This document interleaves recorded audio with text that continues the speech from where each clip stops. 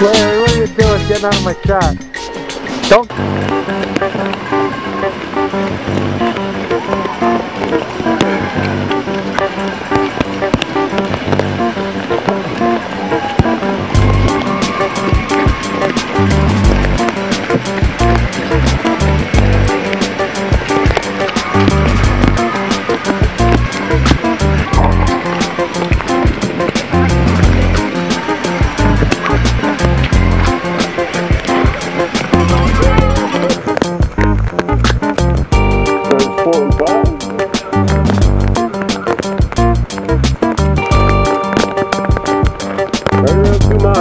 Kind of start the party.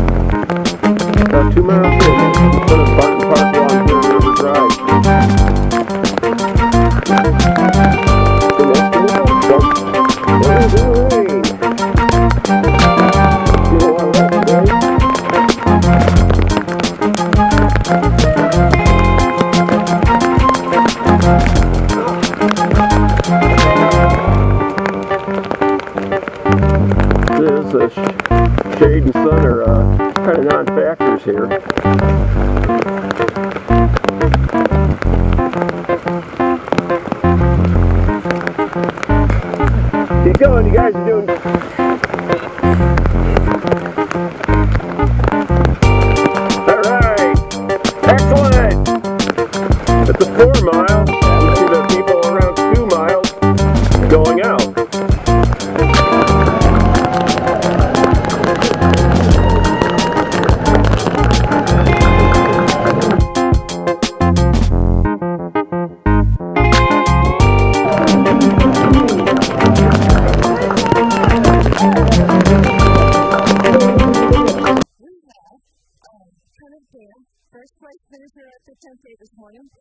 Doing over there? What's your name? Avi Beckman. And tell us about your race.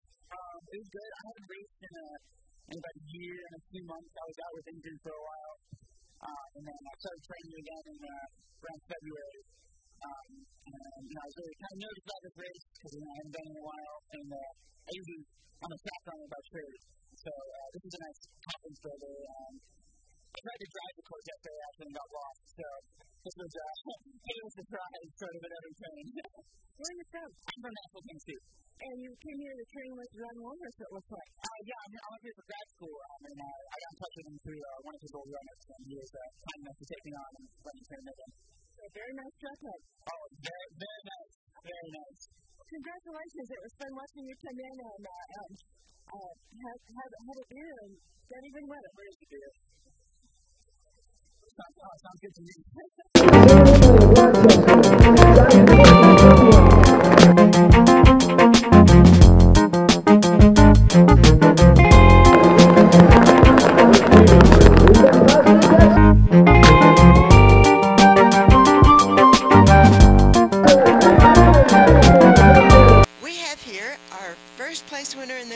This morning, and she looks fresh as a daisy. What's your name? Elise Domkowski. Tell us about your race this morning.